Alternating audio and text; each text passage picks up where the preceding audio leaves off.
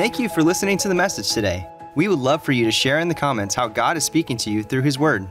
If you would like to join our online church community, be sure to subscribe and click the bell icon on our YouTube page so you're notified when we post a new weekly sermon. You can also learn more about the Rock Church by visiting our website, rockag.com. If you are in the Scottsdale, Phoenix area, make sure to come visit us for Sunday morning service at 10 a.m. We would love to meet you in person.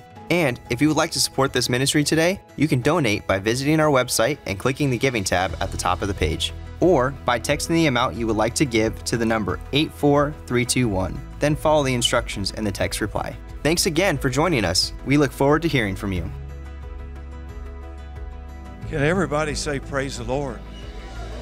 I tell you when I amen, when I walked into the building early this morning and Tim, thank you and all our worship team and I know they're on the way in. Let's give them a hand note. Their goal is not to play good music. They do play good music, but to usher in the presence of the Holy Spirit. And I'm telling you, when they were practicing this morning, I walked through the doors and the presence of the Holy Spirit was tangible. And healing testimonies, you know, we had a healing uh, service, what, two Sundays ago. And Mark, God is touching Christine. It's mighty. And thank you for shouting that out. Amen. Uh, I don't know, for some of y'all that don't know, I've had some difficult physical struggles. And in that service, actually, the man's you know, the man of God of faith and mighty prayer, I could barely walk that day. A lot of y'all didn't know that. Even had to have somebody pick the oil up for me. And then y'all prayed for me at the end of the service, and God, God has healed my back. I'm telling you, I could, I couldn't bend over when I left. I could, I could, and I'm still bending over. How about that? So God's still touching, and uh, I'm still doing my due diligence and doing what I'm uh, supposed to do. But I feel the love and the presence of the Lord in the house. And I expect miracles, not just when we come together, but all throughout the week. All throughout the week. Uh, I've been preparing you. You are in for such a special and powerful time today and treat today. We have the Harpers with us, U.S. missionaries, Jack and Sheila.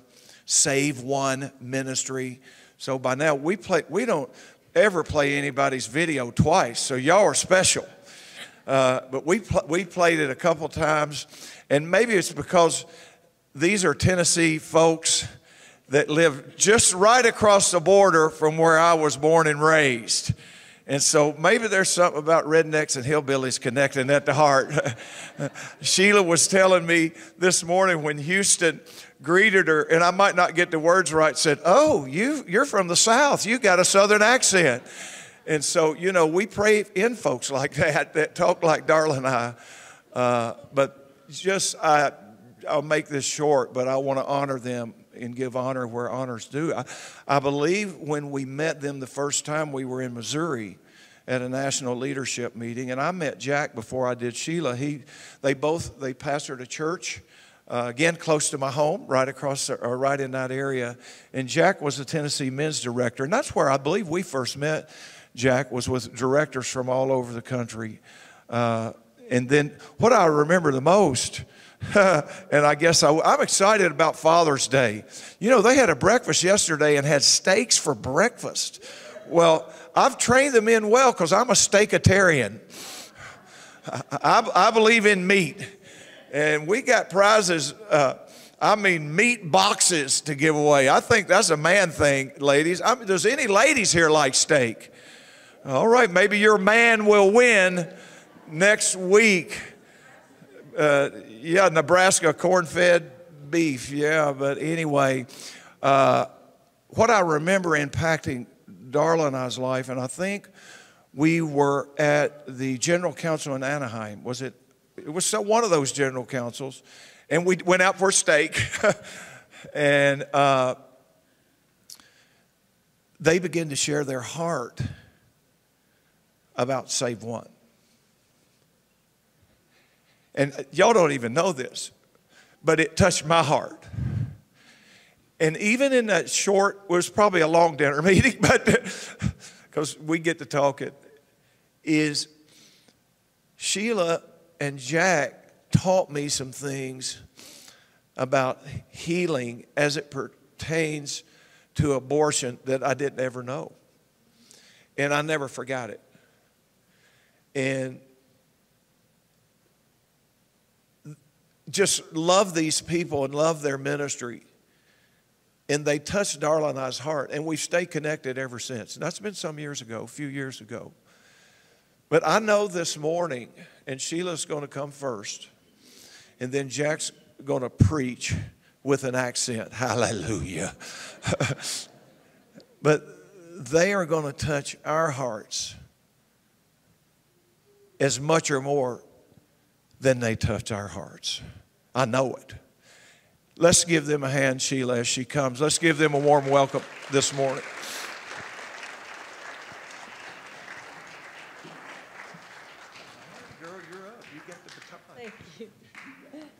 I just love your pastors. They're so wonderful. And can I just tell you that not every pastor is open to having the subject of abortion talked about from the pulpit. So it takes a brave man and woman to have that. And so you're rare. And so thank you for, for having that courage to not care who you whose feathers you ruffle, but you know that you are you have an audience of one to make happy and that's what's important. But anyway, my name is Sheila Harper. I'm the founder and president of Save One, and what we do is we help men, women, and families recover after abortion. And a lot of times people will, you know, will ask, or occasionally we'll get the question, well, why are you helping those people after abortion? Aren't we trying to stop abortion on the front end? And it is our philosophy at Save One, and for the past 23 years, what we have been experiencing is that this is the number one deterrent to abortion that we have. We have been doing a good job on the front end with the pregnancy centers and things like that, but through while Roe was in existence in our country, there were 65 million people who walked out the back door of that abortion clinic. That's just the women. We have that many men who have lost fatherhood. This is not just a woman's issue. And then we have grandparents and siblings of aborted children, people who even drove someone to a clinic years ago, and then they saw their friend's life go off the rails and they felt guilty for have, being part of it. And so it's like they're looking for somewhere to go and lay down this grief and they don't know where to go. And that's where Save One steps in. We are resourcing the local church. We're not trying to turn people to save one. We're not trying to say, look at us, we're the hero. We're pointing people to the local church and resourcing the local church to reach out in their communities and help those men, women, and families who don't feel like they have anywhere to go and lay down, lay down this burden. I speak from experience. When I was 19, I had an abortion. And it was by far the most regrettable mistake of my entire life. I spent the next seven years just hating myself. I began to rely on drugs and alcohol just to get through the day, just numbing my conscience. And during that seven year uh, period, I attempted suicide. And I knew all of those problems stemmed from that abortion. I realize now why this was a choice that was different from other sinful choices. This was a choice I was never created to make. There's no little girl or little boy that, when they're young, they dream of one day growing up and having an abortion or experiencing an abortion. It's never on your radar. You don't write about it in your diary when you're 10. You don't think it's ever going to happen to you. But there I was at 19, and I realized because we were never created to make this choice, when God created us as men and women, He put within us a nature to nurture and protect our children. That's why, as a parent, oftentimes we would take a bullet for our kids and not even think about it. That's our nature, that's who He created us to be. Abortion goes against the very nature of who God created us or what He instilled in us. And so, as a man, as a woman, when we choose abortion, God is the only one who is sovereign. He is the only one who should be making life and death decisions for another human being. But when we choose abortion, we insert ourselves into God's role, and then we bring on these God sized consequences that we were never intended to bear. And so, because He didn't put that kind of nature in us, we don't have the emotional, the mental, or the spiritual capacity to deal with the aftermath of this choice because we were never created to make this choice. We were created to choose life for our children. We were never created to choose death for our children. And so you go around and you're like, you don't know how, your normal coping skills don't fix it. And usually we have deductive reasoning and critical thinking skills, and we can reason our way out of a problem. With this one, you can't. And so you get caught in this vicious cycle trying to deal with it, when in reality, the only thing that fixes it is a divine intervention. And so when you're, when you're going through it, you don't know. You, the enemy starts planting seeds saying, God will never accept you back. You're too bad. You've done too much. And so you go through thinking, I can't turn to the church. Nobody in the church has ever had an abortion. What would they think of me? But through that seven years that I was believing all of these lies that the enemy was planting in me, I finally found my way by accident to a, a Bible study, much like the one Save One offers now. And it was just for people who had had an abortion and were suffering afterward. Well, I went to this Bible study and the people who were, were running this study introduced me to a Jesus who forgives the sin of abortion. And I haven't been able to be quiet about him since then. Because I don't want anybody else, I don't want any of my brothers and sisters to believe the same lie that I believe that abortion was somehow going to fix a problem when in reality it leaves you with a lifetime of regret. I would cut off my right arm to have my daughter here with me. And so you, you live with this knowing, but, but I, I explain it to people once you have gone through and you've had that divine intervention. It's like you have a scar, but there's no pain involved with it anymore. You remember what happened, but you're healed. And so what we're seeing at Save One is Revelation 12:11 lived out. This is why I know abortion recovery is the key to making abortion unthinkable even before it becomes illegal in all 50 states. Revelation 12:11 says, "We overcome the enemy by the blood of the lamb and the word of our testimony." And when you overcome the enemy, the enemy, what did he come here for? To steal, kill, and destroy. What is the entire mantra of the abortion industry? Stealing, killing, and destroying. We become more powerful than the enemy whose agenda it is to steal, kill, and destroy when we're covered by the blood of the Lamb and we just start talking about what God has done for us. We become more powerful. And so when people go through these Bible studies in the local church, it's not anything magical. Jack and I have written in the women's study, the men's study, and the ripple effect that we have. It's not anything magical we've written, it's just God's word. Focus like a laser beam on that wound that abortion leaves you with. And so when people come through these studies, they can't be quiet. they want to go tell people. That's not part of the Save One program. We don't throw you on a stage and say, now go tell everybody you've had an abortion. We don't do that. We just let, I mean, if the Holy Spirit leads you, that's great. But that's never a requirement that you have to go tell everybody now.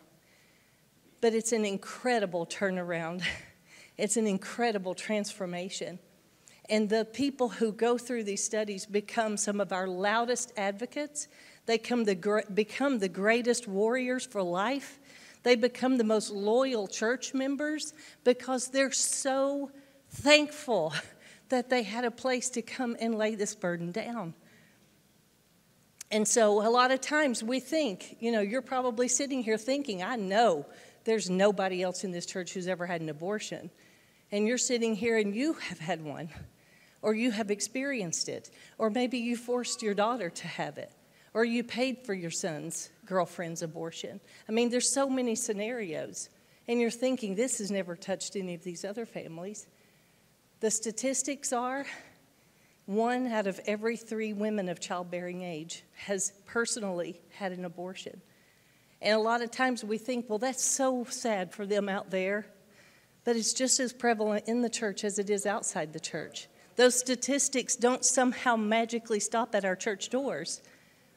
And so, if it's one out of every three women, that child was just as much his as it was hers. And so, that's one out of every three men who have lost fatherhood. And, there's, and like I said, there's two sets of grandparents attached to each one of those children. One abortion touches up to 25 people. My whole family grieved my abortion. They didn't find out about it till years and years later. So, this is not just a simple, you know, abortion may be outlawed here, abortion isn't happening anymore. Well, let me tell you, even though we had that incredible victory last year, it's coming up on a, a one year anniversary of Roe being overturned, they have found a new level of evil. We now have chemical abortion that we're fighting, where you can just order the pills right off the internet. There are 72 websites right now offering these pills who used to, they're so strong, they used to have to be administered by a doctor all protocols have been taken off these pills, and young girls are ordering them off the internet. Traffickers are ordering them and spiking drinks. Pedophiles who are, who are, I mean, this caters to the people that we want to stop because they can cover up their crime and cover up what's happening. And young girls are thinking, well, this, is, this isn't going to be bad. I'll just take a pill and it'll be over. But that's not the stories that we're hearing at Save One. We're hearing stories now that are 10 times more traumatic. And I don't want to go in and be graphic, but you can use your imagination what's happening in these girls' bathrooms. And so now, what used to, when we started Save One 23 years ago, when people would come to us, they had been carrying this burden 10, 20, 30 years. Now it's 10 days, 20 days six months because they're so traumatized they are looking for anybody who can help them. We're having to train in a whole new way because you can't just take them and say, Oh, we've got this Bible study. Let's put you through the Bible study. We've got to take time with them and help them process what just happened. So it's a, it's a, a, a new, it's a new level that we're fighting now. And so I love coming to churches who partner with us, who help us. It makes me want to go to every single one of you and hug your neck and say thank you because we have stories like uh, my friend Wendy, who's on staff with us. We had a, a mom who said, who wrote us and said, my, my, I just found out my daughter is scheduled for an abortion. What do I do? How can you help me? And so we hooked Wendy up with her. Wendy said, Hey, let me talk to her. She said, No, she won't talk to anybody. And she said, Well, let me just send you an email. Through an email, she wrote her story and said, This is what I did. These are the pills that I took. This is what really happened, but this is what God did for me. And she started telling her story. And then the mom called and said she chose life after she just simply read an email. One of the vendors that we use at Save One, she's like somebody, I've never even met her. She, she's like, she just does work for us occasionally. Well, she knows my story because she puts things together for us. She's read it a thousand times, you know, like make this pamphlet or put this book together, you know, or whatever. And so she called me and said, You're not going to believe what happened. I've never talked to her on the phone. And I said, What? And she said, a, a, girl that is associated with our family, 17 years old, came to us and told me she's pregnant, but her mom wants her to have an abortion. She doesn't know what to do. She thinks that's what she's going to go do. And she said, I didn't know what to say, so I just told her your story. And she changed her mind. and so it's like, you know, it really is true that we overcome the enemy by the blood of the Lamb and the word of our testimony. That's just an email and somebody else's story. and it overcame the enemy in these young girls' lives. And so now we're connected to these girls. We're sending gifts, we're making sure they're being taken care of. And it's been incredible. I have story after story after story like that, where we overcome the enemy by the blood of the Lamb and the word of our testimony. So thank you for making that happen. Thank you for partnering with us to see that happen. What we, we thought was just a, a Bible study that was going to be held at our church, we now have nearly 400 locations in 28 nations around the world. It's been incredible. We're in 42 states here in America. We only have two chapters in Arizona, in Fort Mojave. We need about a thousand or 2,000 here in, just in the state of Arizona. So we're open to you guys, to whoever wants to talk to us. We're AGUS missionaries. We're, uh, we're going strong. It's been incredible. We're looking for a missionary associate to represent us here in Arizona. So if you're if you're interested in working with us, come and see us at the table. Come and visit us anyway at the table. Get yourself a t-shirt, pick up our resources, our Bible studies are out there. But we want to talk to you. We want to get to know you. We want to hug your neck. That's a southern saying. I don't know if you guys say that here. Do y'all say that here? Hug your neck. Do you say bless your heart? That if somebody says bless your heart, that's not a compliment. Okay, I'm just going to tell you that. it's a southern thing. Oh, bless her heart. But anyway, I love you guys. Thank you so much. We want to hear your story. Come and talk to us out there at the table after church. But I'll turn it over to Jack now.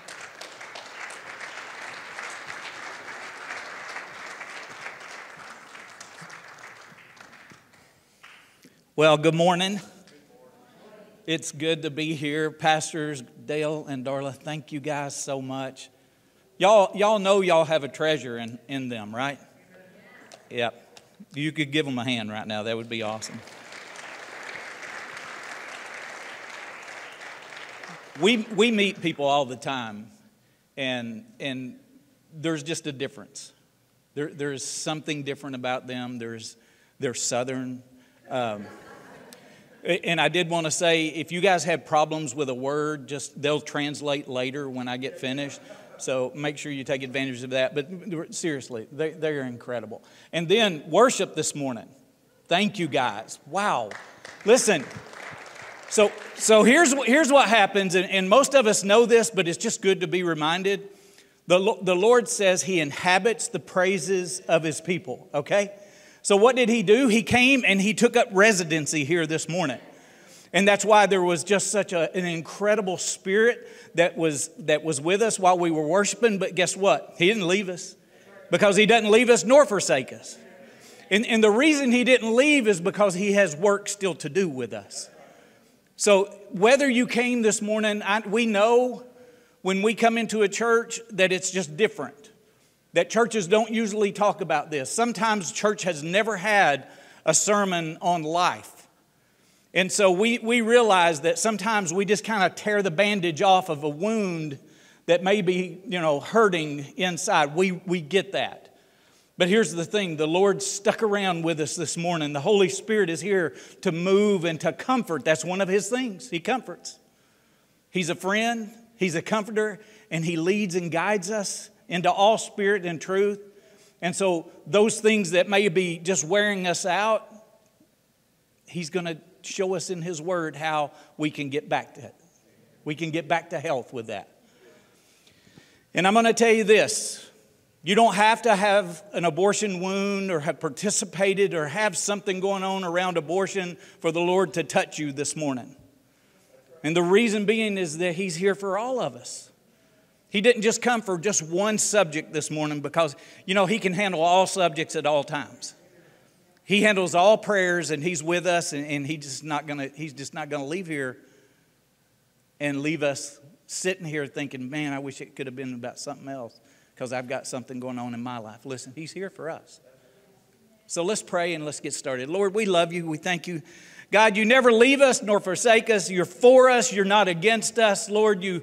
Um, God, you, you in your infinite wisdom, you sent, You sent your word to the earth, and the Lord Isaiah spoke it and said, By his stripes we are healed. Jesus came and he lived that out, he fulfilled that.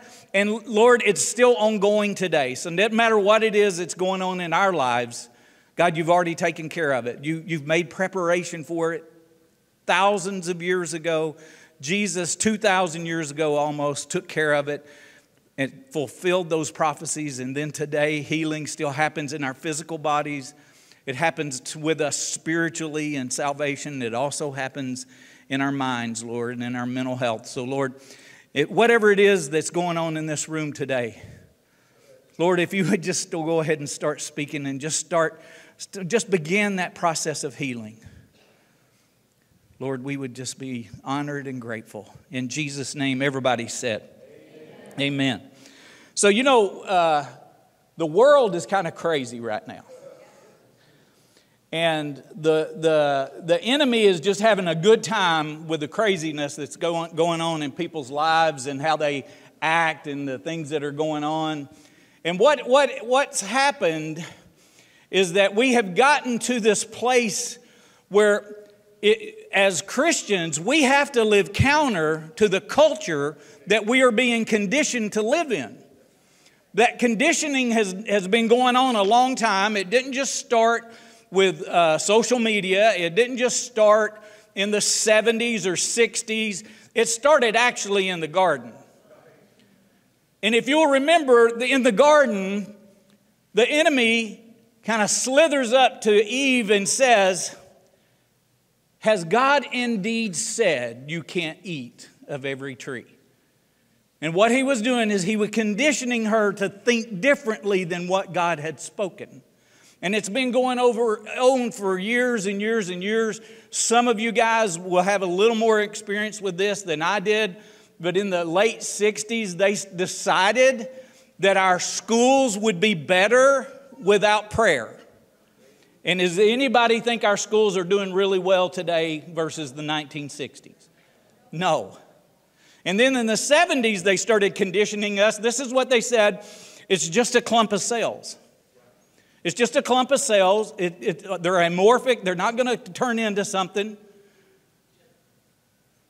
And then technology kind of caught up with what they, the lies they had been propagating.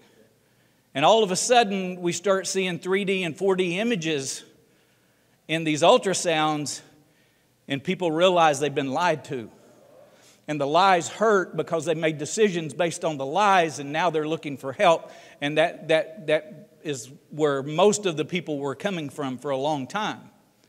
And then they told us the supreme court says this is okay. And so people made decisions based on the supreme court being the law of the land. They wouldn't make a, a law that would be against us that, that would hurt us. And then last year in June, on the 24th, the Supreme Court overturned that. And can I just tell you that we had people from all over the country contacting us saying, I can't believe I made that decision and now they've made, they've made the law different. I, I've messed up. Our calls, our emails, our contacts, our hits on our website almost doubled last year after June 24th because people are they're, they're upset about the decisions that they made that, and listen, I'm not pointing fingers. They just, you, you have to justify that some way, and that's what they had done. They had justified it that way. They're lying to these, to these young ladies and telling them it's just going to be a bad period. And it's so much more than that. And so, this conditioning has been going on for thousands and thousands of years. It's the enemy's playbook. It's, to, as Sheila said, it's to kill, steal, and destroy. And you would almost think it's almost hopeless with this situation and this one particular subject. But there's a second part of that verse. John 10 10 says that he came for nothing but to steal, kill, and destroy, but Jesus came to give us life and life more abundant. And if Jesus came to do that, and he did, then it's available for us in here and now and in eternity. And so, what we need to do is we need to just get our eyes focused on Jesus and off of the, off of that conditioning that's been going on forever. We have to live counter to the culture that we've been living in. in, in and listen, people want to argue. It, it, I've never seen anybody win an argument on Facebook. Are you guys with me there? My goodness, what a mess. I mean, like, seriously, I just want to get popcorn and just sit down and just watch what these, some of these people are doing. I mean, it's like, but I feel bad for them because nobody's going to win that mess. And my Bible says, if it is possible, as much as it depends on me, me, to be peaceable with all people. That doesn't promote pacifism, it just says, as much as it's possible within me. And so we need to, we need to make sure we've exhausted us every time when we're trying to be holy and righteous and compassionate at the same time. Amen? All right. So I'm going to turn to Luke 10. Luke 10, and we're going to be in, uh, I think it starts in 20, 25 is where we're going to be. I love a church that's willing to talk about this, a church that's willing to talk about tough subjects, and it doesn't matter what it is. A church that's willing to talk about tough subjects, they make a pathway for confrontation of that subject and the confrontation of the hidden that, that we have in ourselves, and that confrontation opens up the possibility of healing. And so I love a church that does that. So the parable here that, that we're going to do has two parts to it. The first part is, is that there's a real interaction between Jesus and an attorney. But then Jesus shifts and he tells a parable, he tells a story in order to teach everybody in the room. So in, Luke 10, it says in verse 25, and behold, a certain lawyer stood up and tested him. Can I just tell you, it's not a good idea to try to test Jesus, right? Teacher, what shall I do to inherit eternal life? He wanted, what, what the question is, what really matters here? Because eternal life is what matters. You know, what's happening here is just a prelude to when we get to heaven. If you think worship was too long here, you're going to be a little uncomfortable when you get to heaven. Right? Okay. Jesus said to him, What is written in the law? What is your reading of it? I always love it. Jesus asks, asks, answers with a question. His answer is a question, okay? And so the attorney said, You shall love the Lord your God with all your heart, with all your soul, with all your strength, and with all your mind, and love your neighbor as yourself. And Jesus said to him, You have answered rightly. Do this and you will live. It's a good deal, man. He, you know, he got it all worked out right then. But the attorney, wanting to justify himself, there's that justification, said to Jesus, Who is my neighbor? And this is when the parable begins. Jesus answered him and said, A certain man went down from Jerusalem to Jericho and fell among the thieves, who stripped him of his clothing, wounded him, and departed, leaving him half dead. Now, between, between Jerusalem and Jericho, there was a couple of ways that you could travel. The shorter way was up through these rocks and clefts where thieves and thugs and pirates would hide out. And so, if you went that way, you knew there was a possibility that there was trouble up there, especially if you went that way by yourself. And so, back in that time, back in that day, if somebody went that way by themselves and they got, they got beaten up, they got their stuff taken, they would say, You knew better. You knew better. Why would you do that? And can I just tell you that's not the gospel of Jesus when we're dealing with people who are struggling and hurting in their sin? This is not the gospel of Jesus. In fact, I told you so is not an evangelism tool, right? We can look at people in their worst moments in those toughest moments, we, if we could just have a little compassion for them.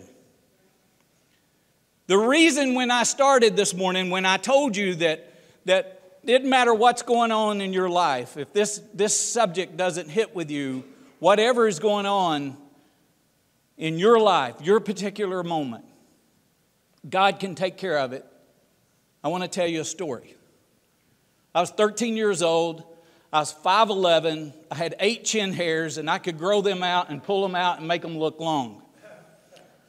I'm 5'10 now. They don't tell you about that cruel little thing with height that happens as you get to the 60s. But as a 13 year old, a bunch of my, of my buddies and I, we decided we would start our drinking career. And so I let the chin hairs grow.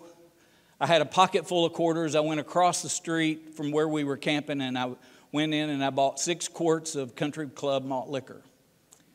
Don't judge my drinking choice there. It was bad. It was. That's exactly why. So my buddies and I, we sat out in this field and we drank. And so here's the thing that happened that night. My buddies, they're all fine. As a 13 year old kid, I unlocked a rage inside of me that I could not stop. I, the, I, I became obsessed every day with getting with somebody that had some money, that would take me somewhere if I had some money and let me get alcohol. It was my obsession. As a 14, 15, 16 year old kid, it was the same. As a 16 year old, I got a car and a part time job, and I was able to, to use my money to drink every single day. I was a functioning alcoholic, if there is such a thing, but I was still an alcoholic. As an 18 year old, I signed a scholarship to play baseball at the University of Tennessee at Chattanooga, and within one year, I had drank my way off of that scholarship.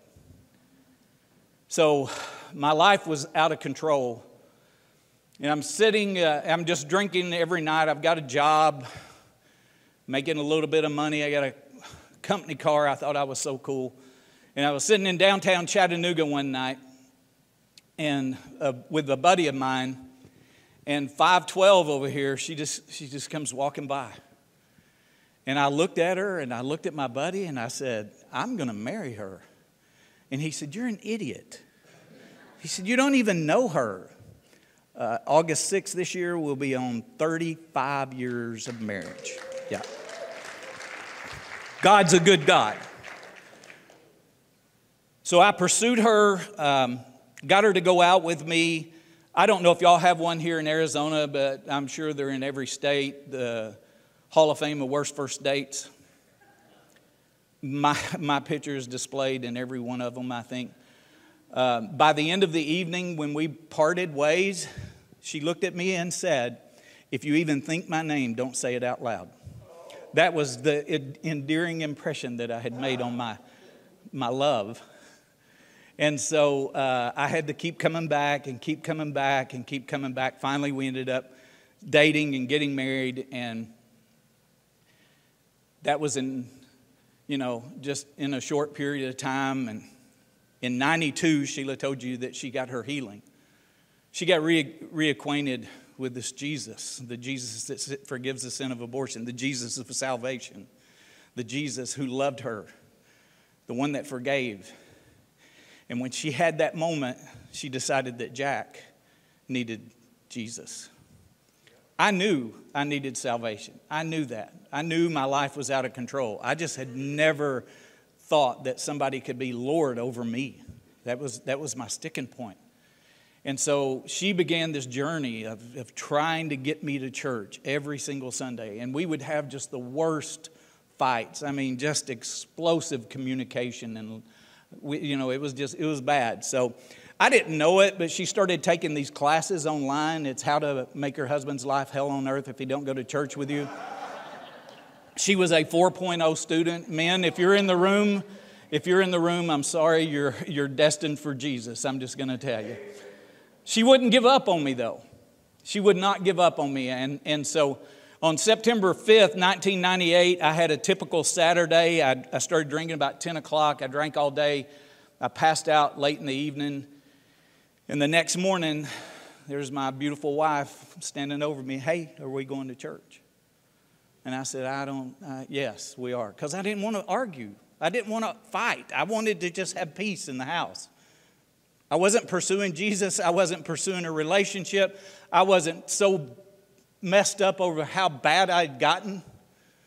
This was 23 years of alcoholism. And so we went to church that day and sat in third row back, aisle seat, left hand side of the building, right there. I always find it, it's an altar of victory. The Lord started speaking to me, and He said, Jack, you give me everything, or I'm going to take everything from you. And the very thing I said first was, Lord, I don't know how. I acknowledged Him for the thing that I wouldn't acknowledge Him for.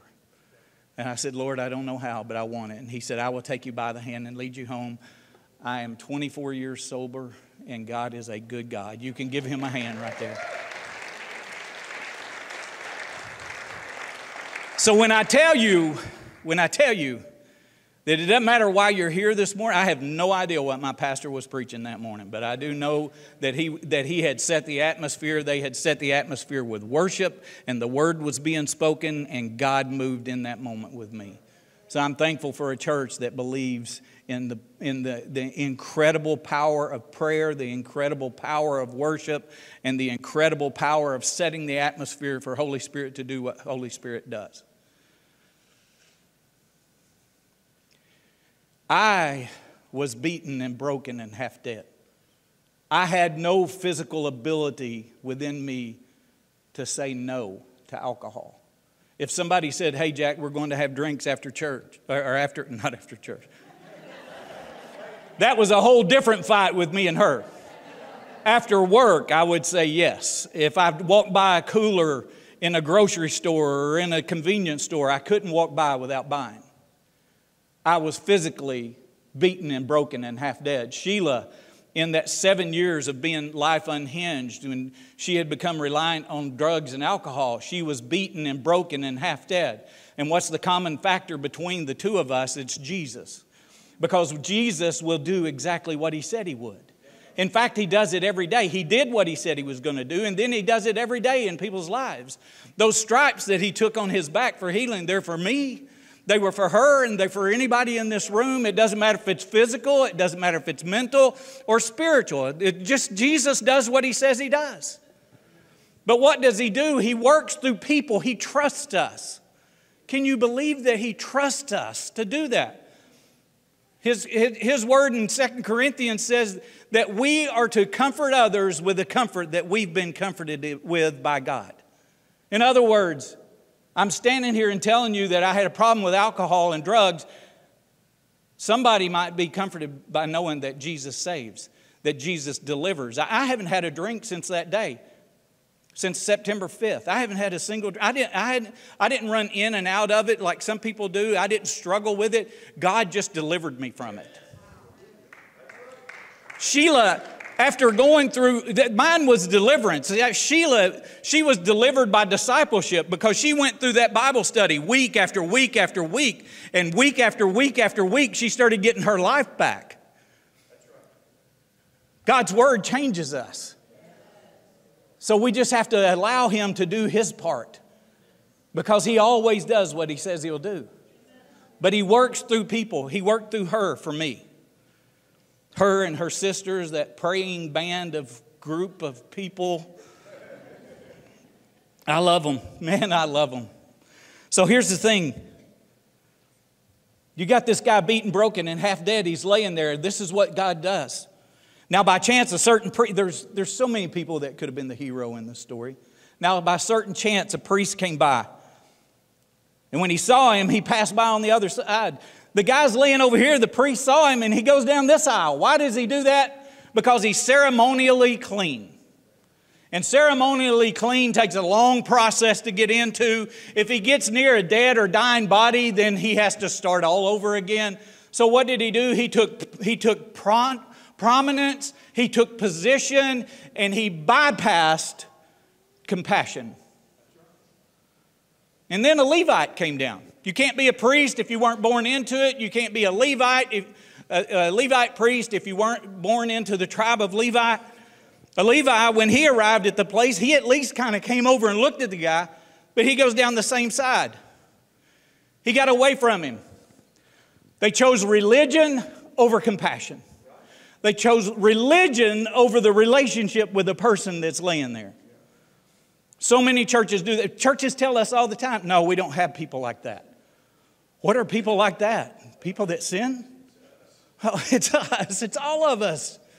Maybe you don't have the abortion sin in your past, but can I tell you, there's none righteous, not one?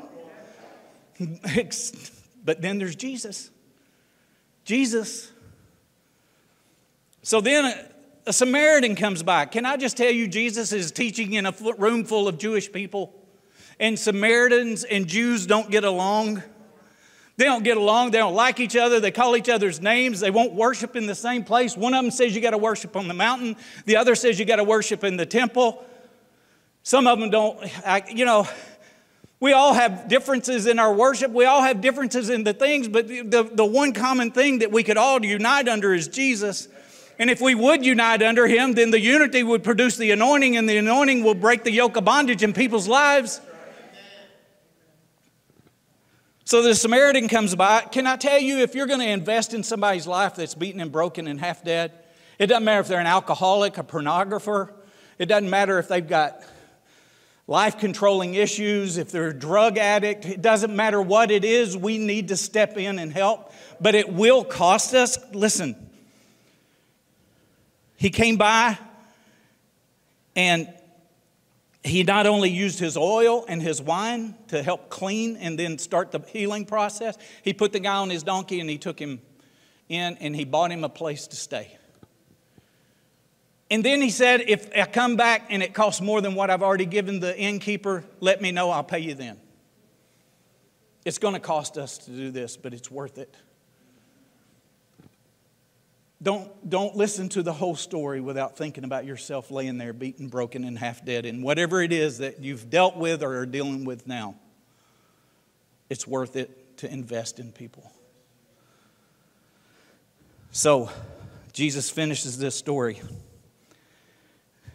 Here's what it says. So, which of these three do you think was the neighbor to him who fell among the thieves? And the attorney says, He who showed him mercy. Then Jesus said to him, This is our mandate for today, this right here. Go and do likewise. Go and do likewise. If you know somebody that's struggling, invest in them. If you know somebody that's having a hard time, invest in them. If you know somebody that's having such a hard time that they can't even cope with everything that's going on in the world, invest in them. They're worth it, just like we were worth it when we were laying there. Every one of us are worth this. Can I ask you to bow your heads and close your eyes for just a second? So, Lord, we love you. We thank you for setting this moment in time. Lord, we thank you that you are still here with us. You never leave us nor forsake us. Holy Spirit, just move. Just start to move across this room right now. If you're in here right now and you know that your relationship is messed up, that you're not where you need to be with Jesus and you want to fix that, I'm not going to ask you to stand up. I'm not going to ask you to come forward. I'm just going to ask you this question Do you want to get your relationship right with Him? If you're in here and you want to do that, just stick your hand up right where you are. Just right where you are. Just say, Hey, thank you. I see you. Thank you. I see you. I see you. I see you. I see you. There's somebody else. You're struggling. You don't know you don't know why you got to stick your hand. I see you. Thank you. God, listen, I see you. Thank you. God wants to have that relation. I see you back there, man. God wants to have that relationship with you. It's as simple as confessing and believing. That's all the Bible says you have to do. We're just going to pray a short prayer. I see you. I see you. We're just going to say a short prayer, and that's going to establish your eternal home, and it's going to establish this date with you as your day of victory. Just repeat this prayer with me. Everybody in the room say, Heavenly Father, in Jesus' name, I ask forgiveness. God, I pray that you would cleanse me of all unrighteousness, that you would be my Lord, and you would be my Savior. In Jesus' name. Give them a hand, guys. Give them a hand right now. All the angels of heaven are rejoicing over just one. All right, I'm going to ask you to close your eyes and bow your heads one more time. And this includes you guys on the stage. I don't want you looking, and those of you in the booth in the back, don't look. This is a very sensitive subject. I get that. And I'm not going to ask this question if I see anybody looking around because this is, this is, this is such a, a sensitive moment in time. If you've been affected by the abortion issue, if you've chosen, if you coerced, if you are complicit, if you pushed, if you paid, if you drove, if you lost a child, if you lost a grandchild, whatever it is, those of you in, please, heads bowed and eyes closed. Thank you. If you're in this room, I'm not going to ask you to even raise your hand. I'm not going to ask you to stand up or come forward. I'm just going to ask you this Would you look up at me? This is, thank you. I see you guys all over. Wow. I'm so sorry. I'm so sorry. I know it hurts. I know. I'm going to pray for you right now. For those of you that looked up, will you just please touch base with Pastor Dale or Pastor Darla? Will you let them know that you're ready to, to get out of this pain, out of this hurt, out of this, out of this station in life? You don't have to live here. You don't have to live the way you came in today. Lord, we just ask right now that you that you send Holy Spirit as comforter in a way that he has never they've never known him in, his, in their entire lives. Let him comfort today in a supernatural way. God, thank you for the, for the courage that it took for those to look up. Lord, thank you, God. Would you wrap your arms around them? Would you let them know that you are here and God, that you're with them every step of the way? Lord, we know that you do deliverance, and I, God, if they do, if you do that in this in this service, then praise God. But Lord, let them understand the delivery of discipleship. Let them understand walking through your word week after week after week to have that change in their lives. Lord, in all things, always, we give you praise, we give you glory, and we give you honor. In Jesus' name, everybody said, Amen.